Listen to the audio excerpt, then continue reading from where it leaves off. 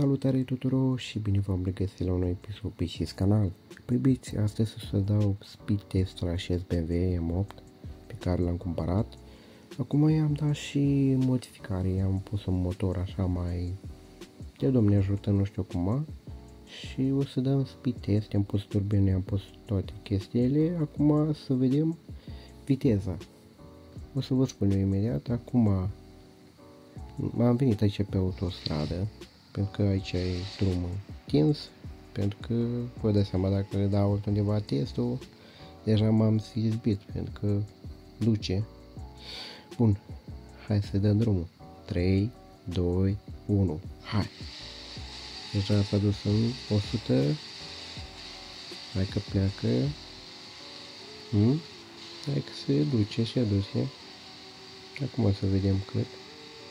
Dacă ajunge, a ajuns la 300 ceva. Aici are ceva până se bagă în viteza, nu știu, viteza băgat acum. Acum ar trebui să se ducă în 400. Hmm? A atins și uh, 400 văd Nu știu dacă se vede pe ecran, că eu am închis toate controlele. 408 409 ajungem mai tare. Atât. 409 asta e viteza maximă cum se vede. 410 acum hai să vedem cât duce frâna. Ia se duce vreo 20 de metri. Se duce. Cam de acolo vreo 50 ceva de metri.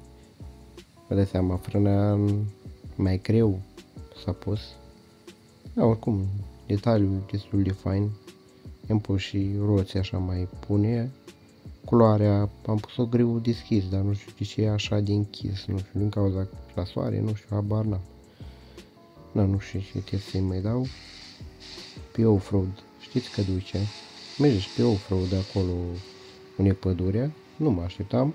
Nu știu destul de bine, dar total unică, pentru că nu i-am pus roți de off-road și na, măcar duce viteza, eu zic că e bună, destul de bună.